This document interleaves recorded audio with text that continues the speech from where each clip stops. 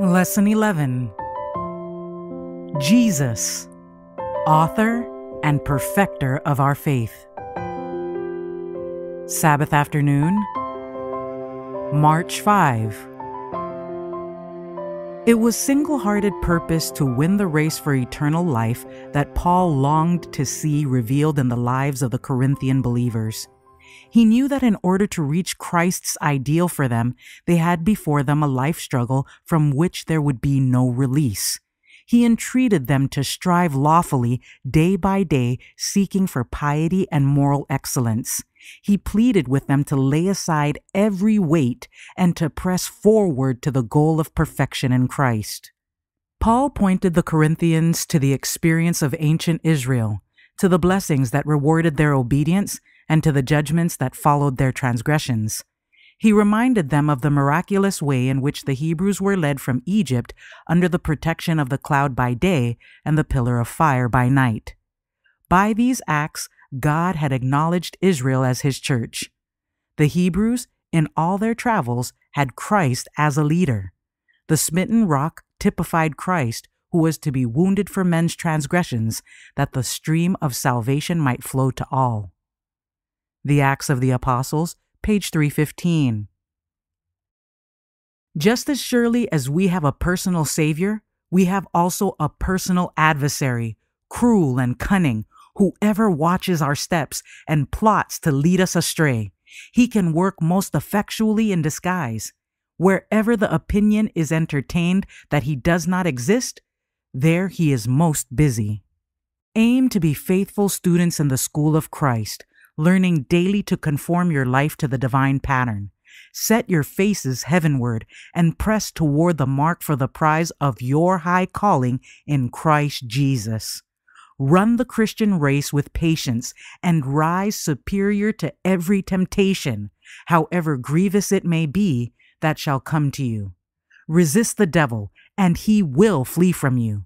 Draw nigh to God, and if you are desirous of taking the first upward step, you will find his hand stretched out to help you. It remains with you individually as to whether you walk in the light of the Sun of Righteousness or in the darkness of error. The truth of God can be a blessing to you only as you permit its influence to purify and refine your soul. Sons and Daughters of God, page 79. The competitors in the ancient games after they had submitted to self denial and rigid discipline, were not even then sure of the victory. Such is not the case in the Christian warfare. Not one who complies with the conditions will be disappointed at the end of the race. Not one who is earnest and persevering will fail of success. The race is not to the swift, nor the battle to the strong. The weakest saint as well as the strongest, may wear the crown of immortal glory. All may win who, through the power of divine grace, bring their lives into conformity to the will of Christ. The Faith I Live By, page 369.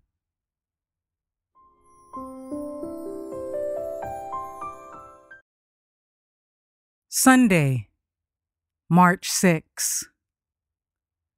The righteous will live by faith. The Christian life is more than many take it to be. It does not consist wholly in gentleness, patience, meekness, and kindliness. These graces are essential, but there is need also of courage, force, energy, and perseverance. The path that Christ marks out is a narrow, self denying path. To enter that path and press on through difficulties and discouragements requires men who are more than weaklings. Men of stamina are wanted, men who will not wait to have their way smoothed and every obstacle removed, men who will inspire with fresh zeal the flagging efforts of dispirited workers, men whose hearts are warm with Christian love and whose hands are strong to do their master's work. The Ministry of Healing, page 497. Although I have been twice disappointed, wrote William Miller, I am not yet cast down or discouraged. My hope in the coming of Christ is as strong as ever. I have done only what, After years of solemn consideration, I felt it my solemn duty to do. One thing I do know I have preached nothing but what I believed, and God has been with me. His power has been manifested in the work, and much good has been effected. God did not forsake his people. His spirit still abode with those who did not rashly deny the light which they had received and denounce the Advent movement.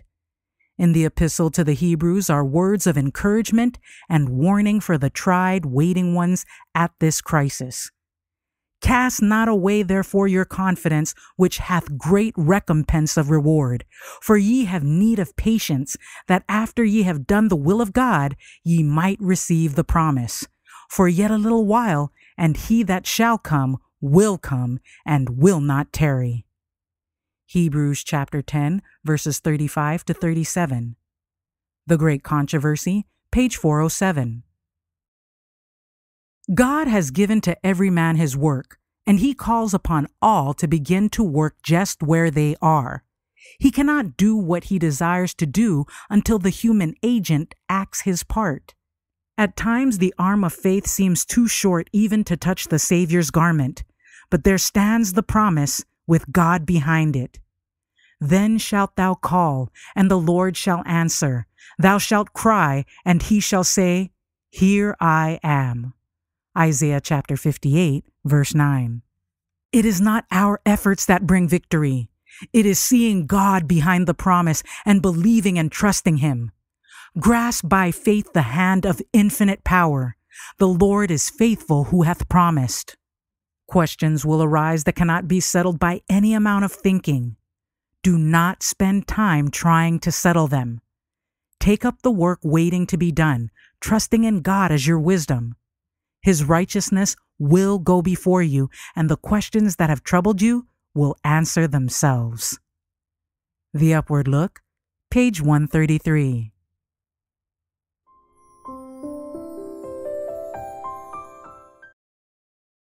Monday, March 7. By faith, Abraham. Abraham's unquestioning obedience was one of the most striking instances of faith and reliance upon God to be found in the sacred record. With only the naked promise that his descendants should possess Canaan, without the least outward evidence, he followed on where God should lead, fully and sincerely complying with the conditions on his part and confident that the Lord would faithfully perform his word. The patriarch went wherever God indicated his duty. He passed through wildernesses without terror. He went among idolatrous nations with the one thought God has spoken, I am obeying his voice. He will guide, he will protect me. Just such faith and confidence as Abraham had, the messengers of God need today but many whom the Lord could use will not move onward, hearing and obeying the one voice above all others. The Lord would do much more for his servants if they were wholly consecrated to him, esteeming his service above the ties of kindred and all other earthly associations. Testimonies for the Church, Volume 4, page 524. It is Satan's purpose to destroy men's confidence in God, to make them dissatisfied with their condition in life, and to lead them to seek a knowledge of what God has wisely veiled from them, and to despise what he has revealed in his holy word. There are many who become restless when they cannot know the definite outcome of affairs. They cannot endure uncertainty, and in their impatience, they refuse to wait to see the salvation of God. If they would but trust in God and watch unto prayer, they would find divine consolation. Their spirit would be calmed by communion with God. The weary and the heavy laden would find rest unto their souls if they would only go to Jesus. Patriarchs and Prophets, page 687. A deeper and wider experience in religious things is to come to God's people. Christ is our example. If through living faith and sanctified obedience to God's word we reveal the love and grace of Christ, If we show that we have a true conception of God's guiding providences in the work, we shall carry to the world a convincing power. A high position does not give us value in the sight of God. Man is measured by his consecration and faithfulness in working out the will of God. If the remnant people of God will walk before him in humility and faith, he will carry out through them his eternal purpose, enabling them to work harmoniously in giving to the world the truth as it is in Jesus. He will use all, men, women, and children, in making the light shine forth to the world and calling out a people that will be true to his commandments. Through the faith that his people exercise in him, God will make known to the world that he is the true God the God of Israel. Testimonies for the Church, Volume 9, page 274.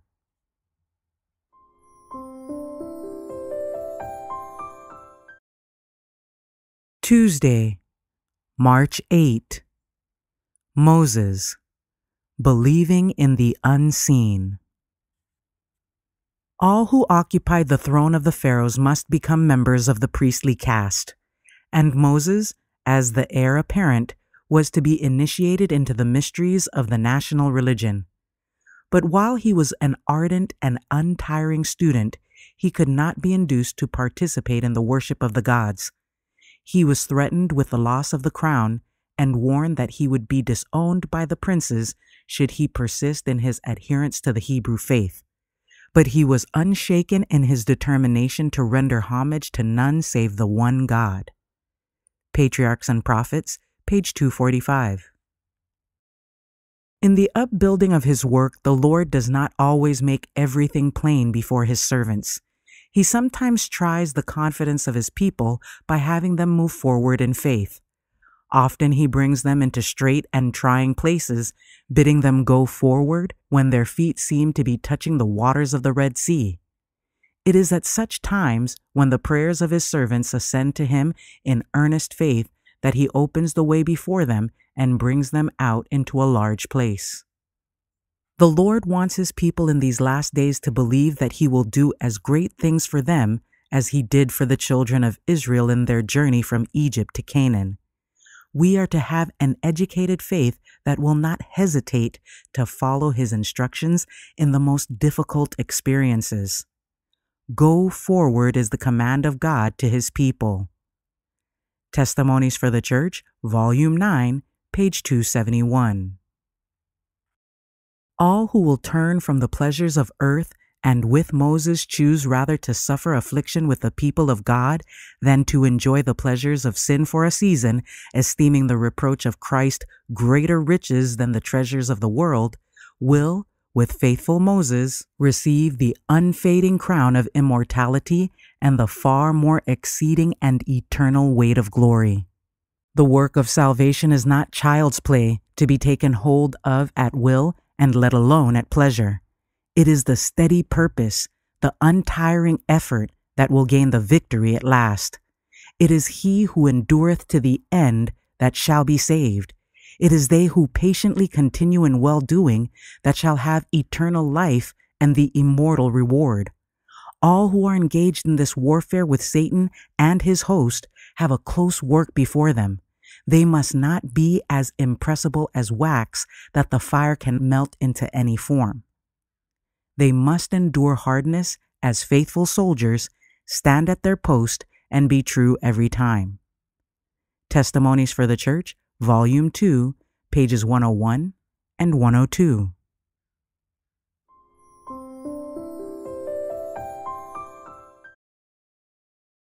Wednesday, March 9. By faith, Rahab and the rest. The advancing hosts of Israel found that knowledge of the mighty workings of the God of the Hebrews had gone before them, and that some among the heathen were learning that he alone was the true God. In wicked Jericho, the testimony of a heathen woman was, The Lord your God, he is God in heaven above and in earth beneath. Joshua chapter 2 verse 11. The knowledge of Jehovah that had thus come to her proved her salvation. By faith, Rahab perished not with them that believed not. Hebrews chapter 11 verse 31. And her conversion was not an isolated case of God's mercy toward idolaters who acknowledged his divine authority. In the midst of the land, a numerous people, the Gibeonites, renounced their heathenism and united with Israel, sharing in the blessings of the covenant. Christ came to demolish every wall of partition, to throw open every compartment of the temple courts that every soul may have free access to God. His love is so broad, so deep, so full that it penetrates everywhere. It lifts out of Satan's influence those who have been deluded by his deceptions and places them within reach of the throne of God, the throne encircled by the rainbow of promise. Prophets and Kings, pages 369 and 370. Christianity promises no exemption from sorrow. We must, through much tribulation, enter into the kingdom of God. Acts chapter 14, verse 22.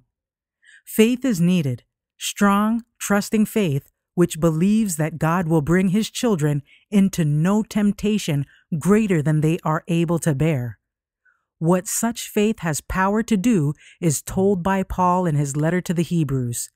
Speaking of those who, in the face of persecution and death, had maintained an unshaken trust in God, he says, Who through faith subdued kingdoms, wrought righteousness, obtained promises, stopped the mouths of lions, quenched the violence of fire, escaped the edge of the sword, out of weakness were made strong, waxed valiant in fight, turned to flight the armies of the aliens, and others were tortured, not accepting deliverance, that they might obtain a better resurrection. Hebrews chapter 11, verses 33 to 35. In this world, these heroes of faith were counted unworthy of life, but in heaven, they are enrolled as sons of God, worthy of the highest honor in Heavenly Places, page 268. It will require a sacrifice to give yourself to God, but it is a sacrifice of the lower for the higher, the earthly for the spiritual, the perishable for the eternal. God does not design that our will should be destroyed, for it is only through its exercise that we can accomplish what He would have us do. Our will is to be yielded to Him, that we may receive it again, purified and refined, and so linked in sympathy with the divine that He can pour through us the tides of His love and power. However bitter and painful this surrender may appear to the willful, wayward heart, yet it is profitable for thee. Thoughts from the Mount of Blessing, page 62.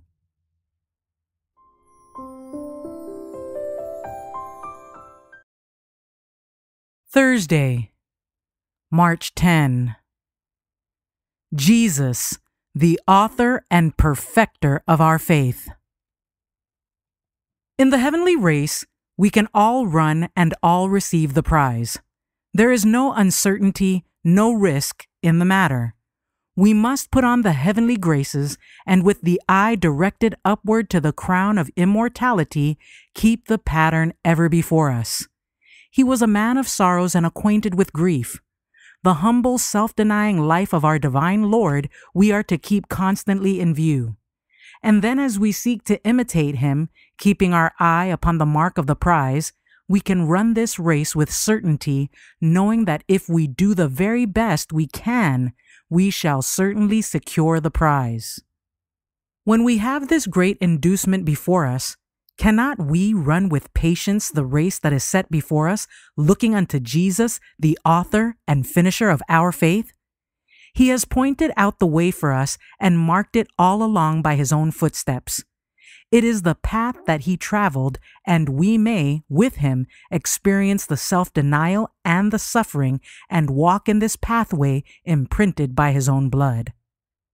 Testimonies for the Church, Volume 2, pages 358 and 359. Without His grace, our efforts cannot bring lasting benefit. It is through the grace of Christ that we are to be overcomers, through the merits of his blood, we are to be of that number whose names will not be blotted out of the book of life. Those who are final overcomers will have the life that runs parallel with the life of God and wear the crown of the victor.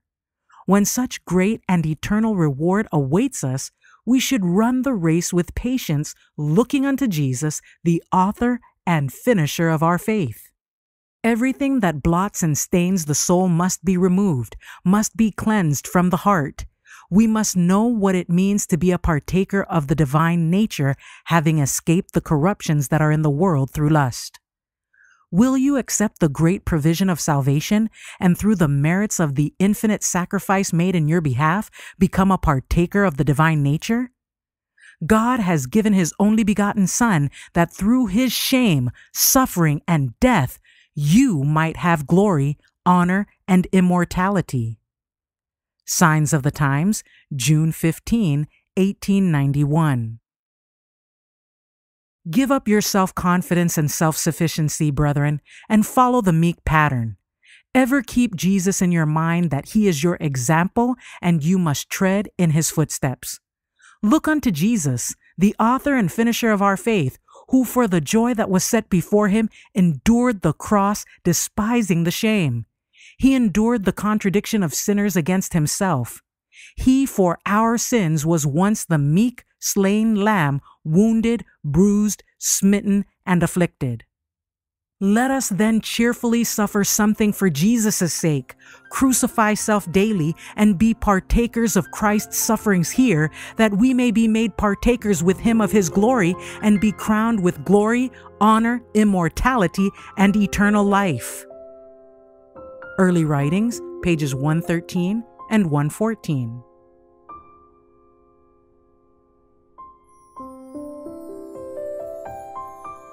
For further reading, the Upward Look, The Great Exemplar, page 134. And My Life Today, Oh God, Help Me to Higher Levels, page 105.